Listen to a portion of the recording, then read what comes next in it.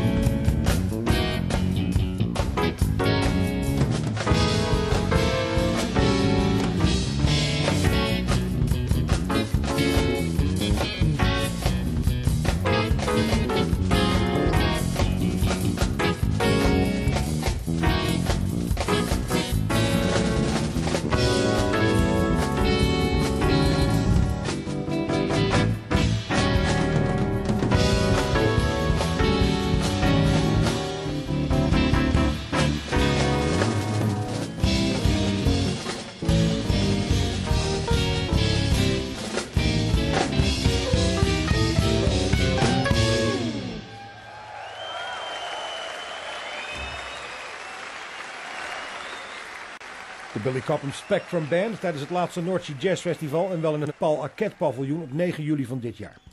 U hoorde achtereenvolgens Crosswinds van Billy Cobham zelf en van gitarist Frank Gambale de compositie Smug. Dit is In Concert van Radio 4 FM op woensdagavond. Vanavond met een concert door Billy Cobham Spectrum Band, bestaande uit Frank Gambale, gitaar, Tom Coster keyboards, Rick Fierabracci op elektrische bas en Billy Cobham op drums. Als u nou meer of misschien zelfs alles al wilt weten over Radio 4FM, surft u dan naar www.4fm.nl. Voor vragen, opmerkingen, suggesties en wat dies meer zijn, kunt u natuurlijk een e-mail sturen naar 4fm.nps.nl. Dat is 4fm.nps.nl. Als u nou niet allemaal heeft onthouden wat u heeft gehoord, gaat u dan naar diezelfde site www.4fm.nl en op de playlist daar staat er precies wat er allemaal in dit programma langs is gekomen. Verder dan nu met een compositie van toetsenist Tom Coster, Voyage to Nowhere.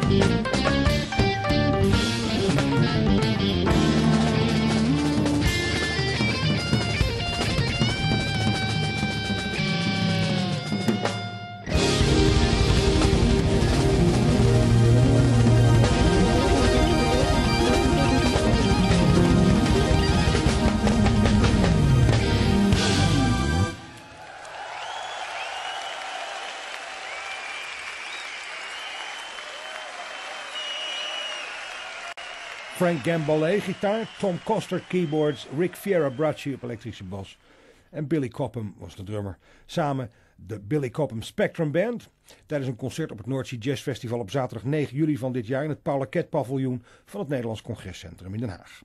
U hoorde Voyage to Nowhere van toetsenist Tom Koster en daarna twee composities van Cobham zelf, Panama en Red Baron. Morgenavond een twee uur durende special rond zangeres, toetseniste en bassiste Annette Peacock. De special begint om 11 uur, wordt om middernacht even onderbroken door Sterren Nieuws, maar gaat daarna nog door tot 1 uur. Wij gaan er voor nu uit met een compositie van Billy Cobham, Pleasant Pheasant. Voor de laatste maal de Billy Cobham Spectrum Band. En met Frits Baaiens, die deze in concert maakte, dank ik Hans Mantel u voor het luisteren. En als u gaat slapen, welterusten.